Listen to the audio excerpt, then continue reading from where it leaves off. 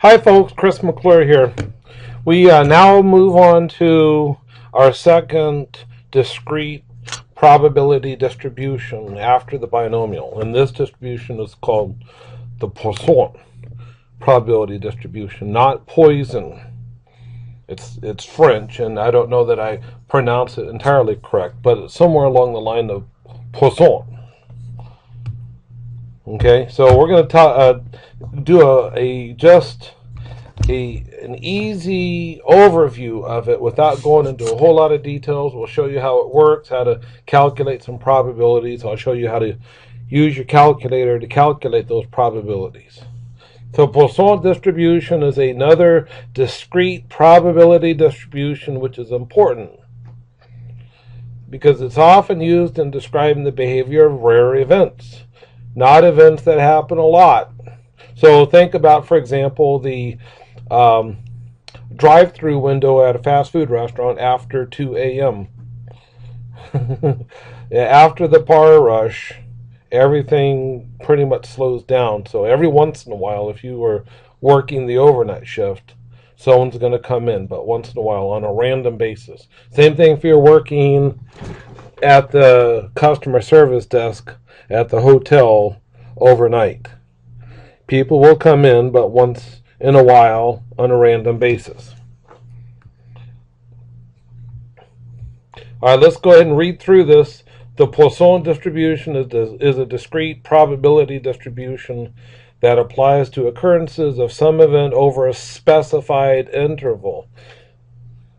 Typically, time could be seconds, could be a week, month, year, decade, century, over some specified interval. It doesn't even have to be a time, but that's what typically X, well, actually, that's not what X is, but X, but X is going to be the number of uh, occurrences that happen over that interval of time.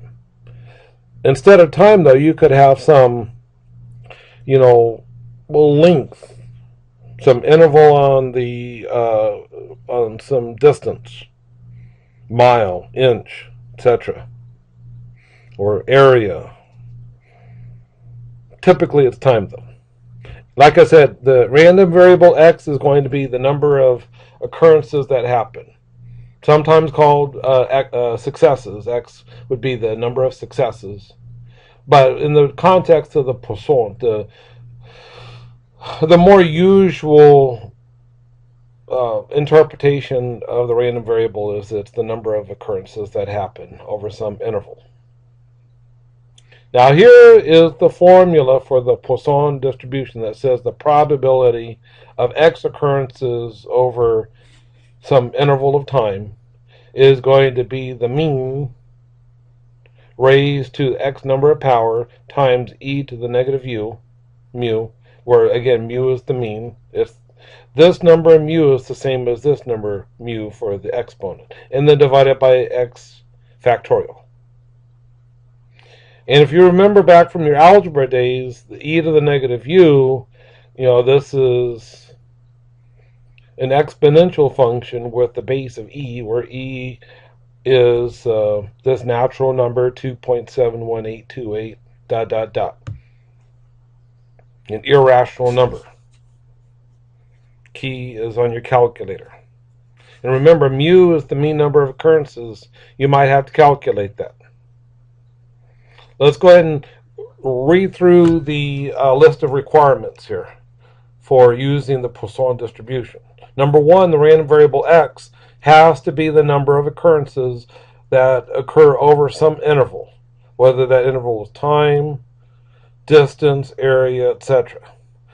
The occurrences must happen on a random basis, not on a formulaic basis. The occurrences must be independent of each other. The occurrences must be uniformly distributed, meaning we can't have them clumped up at one point in the interval, but not other places. The mean of the Poisson distribution is mu. Standard deviation is sigma. That's equal to square root of mu.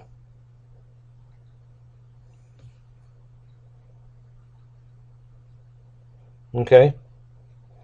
That's just one of the uh, interesting things about this distribution. It's the only distribution where the variance is equal to the mean. Now, sometimes people get the Poisson distribution mixed up with the binomial distribution because of the fact that both of them are discrete distributions. But there are some important differences. Uh, namely, is that the binomial distribution is affected by the sample size and the probability of an individual success, p, whereas the Poisson distribution is only affected by the mean mu. That's what gives it kind of an advantage. Also, in the binomial distribution, the possible values are fixed between 0 and n. Remember, x is the number of successes out of n number of trials. So the, the greatest number uh, that x could be is n, in which case you would have every trial ending up with a success. It's like a, you know, uh, n number of coin flips ending up with n number of heads. But for the Poisson distribution, you could conceivably have an infinite number of occurrences happen over an interval. Okay? Now let's go through a nice easy example here. Suppose that we look over the last 100 years of record keeping and find that there were 530 Atlantic hurricanes. So 530 Atlantic hurricanes over 100 years. We're going to solve this Poisson distribution problem. Now, the mean number of hurricanes per year is just simply going to be the number of hurricanes divided by the number of years, which is 5.3. We're going to take 5.3 to be mu, the mean number of hurricanes then. And then if we want to calculate the probability that for any given year that there were two hurricanes, all we need to do is go into the formula for the Poisson distribution, plug in 5.3 from mu, and plug in 2 for x, right there and there. And for e, uh, we could substitute 2.71828 as an approximation, and we could plug this into our calculator. And we have 0.0701 approximately. Let me show you on the calculator how to do this calculation. All right. So we had, and I'm going to use parentheses here. So parentheses and then 5.3 raised to the second power or just squared and then times and then we're going to hit E to the negative 5.3. Okay, and then right arrow to get out of that exponent, and then close parentheses divided by 2 factorial. 2, excuse me. Let's try it again. Sorry about that. Um, 5.3 squared times e to the negative 5.3 and then get out of the exponent, close parentheses, divide that by, and then we're going to hit 2 uh, factorial. Now 2 factorial, by the way, is 2, but we can just play along and put a factorial symbol after the end of it. And then hit enter. And there we go. There is our Poisson probability. Now, wouldn't it be nice if there was a preloaded formula in the calculator? All you need to do is tell what the mean and number of occurrences is. And as you can see from this command up here, that there actually exists such a command. So I'm going to show you how to access that command up here. Go uh, hit second button right here, second, and then hit this button. See where it says distribution under the variables button? All right, now we are in the distribution menu. We're going to scroll down nice and leisurely to the Poisson PDF probability distribution function. And the first number that you're going to input is the mean. Remember the mean for this case was 5.3, comma, and then the number of occurrences is the second number, 2. And then we're going to close parentheses, enter. And that should give us exactly the same number. So we don't have to memorize the formula necessarily. We can use our graphing calculator if you've got a TI-84 calculator. Other versions of the TI uh, family also have the Poisson. Yeah, as long as it's a TI-80 or TI-90 something. Or Nspire. But if you have a TI-30, uh, you won't have this a preloaded formula for the distribution. So you'll just have to use this sort of calculation that you see here in order to carry out your Poisson probability calculation. Okay? We could use the Poisson distribution as an approximation to the binomial distribution. Because after all, the Poisson distribution is actually easier to calculate than the binomial distribution. And we're going to use the Poisson distribution to approximate the binomial distribution when the sample size is large and p, the probability of an individual success from the binomial distribution, when p is small. So when n is large, p is small. So here's the mathematical requirement. We need the sample size to be at least 100, but the sample size times the probability of a success to be less than or equal to 10.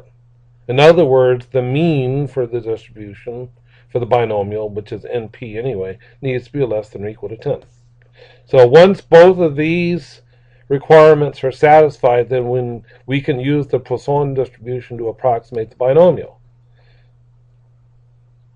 And if both of those requirements are met, then we can use NP as our calculation for the mean mu for the Poisson distribution. So let's take a look at an example here. Suppose that we've got this lottery game up in the state of Maine. It's called the Pick 4 game, and you play 50 cents. And what you do is you select four digits Remember, there's 10 digits to choose from 0, 1, 2, 3, 4, 5, 6, 7, 8, 9. So you have 10 choices for the first digit, 10 choices for the second, 10 for the third, 10 for the fourth. So there's 10,000 possible four digit numbers that you can select. Now you're going to go in and play this game 365 days of the year. You're going to go into that a grocery store and lay down 50 cents and buy one ticket. And you're going to do this 365 days in a row. I guess every day there's a different number that's drawn. Now, for any one time that you play, there's a 1 in 10,000 chance of winning. And so for this game, the, uh, you know, average number of times that you would expect to win if you were to play 365 days once per day is actually this number n times p 365 times 1 in 10,000 that's 0.0365 so you actually don't have much hope for winning. Even once there's like a 3.65% chance of winning once in one year if you were to play, you know, once every day of the year. Now, if we want to calculate the probability of winning at least once, it, that would require a binomial calculation. Or we could use the Poisson. Now, the sample size is certainly greater than 100 because in this case it's 365. And n times p was, oops, was certainly less than 10. In this case it's 0.0365. So we could use the Poisson distribution. Now, if we want to calculate the probability of winning at least once, that's going to be 1 minus the probability of winning 0 times. Now, using the Poisson probability distribution, probability of winning 0 times is going to be equal to the mean, which is 0.0365, raised to the 0 power, times e raised to the negative 0.0365 divided by 0 factorial. 0 factorial is 1, by the way.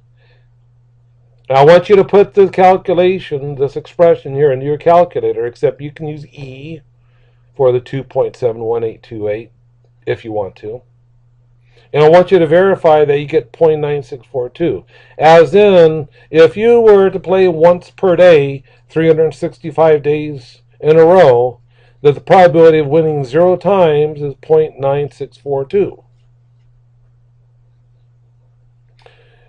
So that means 1 minus that event of winning zero times, um, meaning the probability of winning at least once is going to be 1 minus that as in 1 minus 0.9642, which is 0.0358. So the probability of winning at least once is about a 3.58% chance.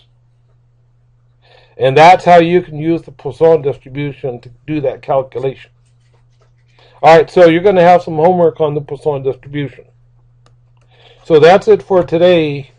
Um, tomorrow, I'm going to try to record a, a video uh, for section 6.1 and 6.2, and maybe even 6.3 over the weekend. Uh, I'm going to be uh, out of town. I'm a, an Army reservist, and I'm going to be doing some military training Friday, Saturday, and Sunday. But I'll still be uh, in touch with you as you take your exams and do your homework. Uh, I've have posted a uh, chapter 5 quiz for you to do after you do the chapter 5 homework as well. So the train keeps on rolling down the track so to speak.